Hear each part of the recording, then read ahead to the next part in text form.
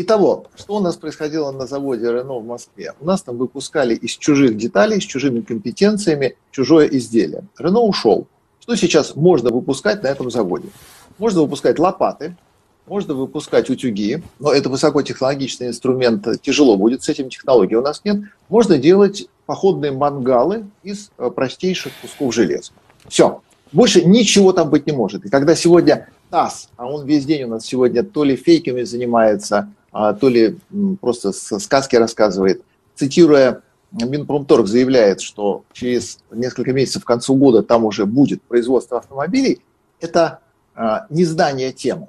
Автомобилю взяться неоткуда, и самое главное, нет такого автомобиля. Если предположить, что в соответствии с подписанными документами соучастником подобных процессов становится КАМАЗ, никакой легковой платформы в нашей стране запасной не существует. Рено ушел навсегда, списав убытки в 2 миллиарда евро и сказав, господи, спасибо, ну, наконец-то мы избавились. Завод «Москвич» на этом месте был в 8 раз больше, чем нынешний финальный участок сборки «Дастеров». Потому что «Дастер» это была конечная, конечная стадия. Там все привезли и все собрали. Завод «Москвич» производил двигатели, у него была своя штамповка. На заводе «Рено» этого нет. И когда кто-то заявляет о том, что у нас будет производство автомобилей, Собянин говорит, мы возродим «Москвич», то мы, конечно, рисуем себе мрачную перспективу, что это будет «Москвич» 412 или 403, и где-то есть станки, которые умеют его делать. Нет.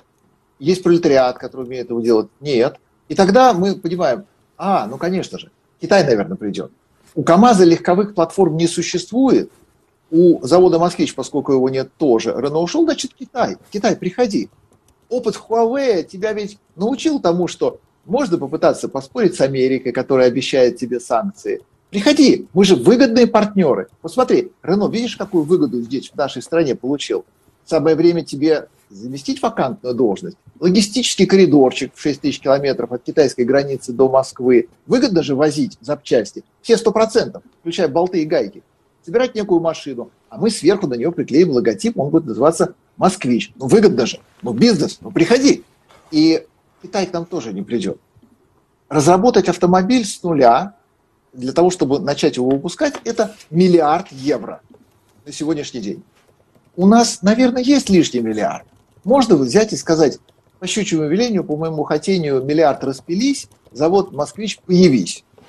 Но не к концу года, не к концу, э, какая наша пятилетка на дворе, наверное, 12 уже, не к концу 12 пятилетки ничего подобного не будет.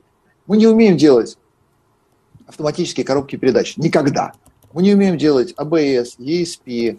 А, мы много чего не умеем делать. Нам сейчас это никто не поставит. А перед нами стоит задача на падающем рынке, при разбегающихся в разные стороны покупателях, построить посреди Москвы очень нужный автомобильный завод, по выпуску чего-нибудь такого суконно-пасконного под названием «Москвич», из деталей которых у нас нет и быть не может, потому что отсутствует их производство, и мы сейчас, а мы сейчас что, нарисуем машину мелками на